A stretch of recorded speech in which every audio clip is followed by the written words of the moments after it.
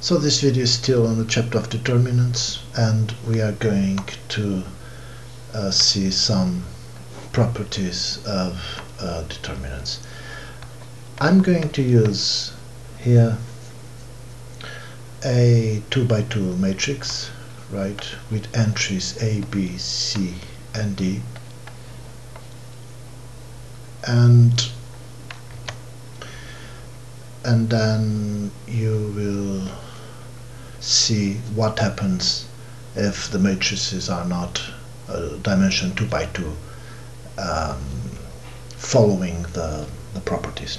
Okay, we saw in previous videos that the determinant of this uh, matrix you simply do A times D minus BC okay so that is the determinant of matrix A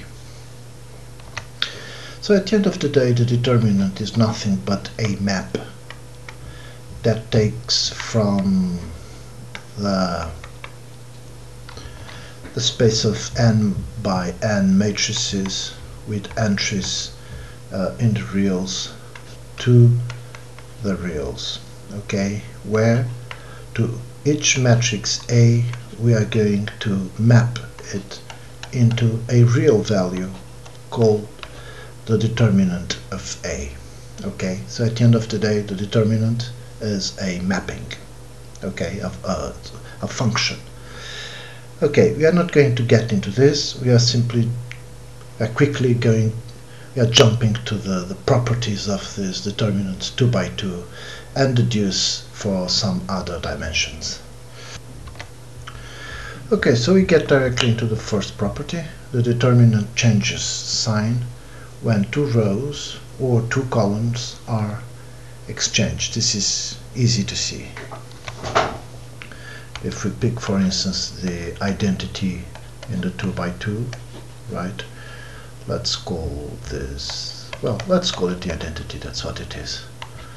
So the determinant of the identity will be 1 times 1 minus 0 that will be 1 okay. Let us change the columns here let us say we now have 0 1 1 0 okay. If you take the determinant here uh, what shall I call this? I don't know. I'm going to call it B. Okay. The determinant of B will be 0 minus 1 right? Here you are. So if you change two um, if you change two lines right? Or if you change two columns okay the determinant changes sign. Okay you had 1 and now you have minus 1 and obviously you can see this in ABCD let us call this matrix A. I'm using determinant and this sign. It's exactly the same. AD minus BC if you let us do A prime and put CD here and AB here. Okay. The determinant of A prime will be CB minus AD you see.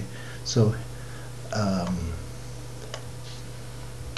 here you have AD minus BC here you have CB minus AD so the determinant change sign changing two rows and now that we saw this determinant of identity, 1001, we saw that, that the determinant is 1. And that is also a very obvious property of the determinants. So the determinant of the identity matrix is always 1 for any dimension, okay? If you have uh, 0, 1,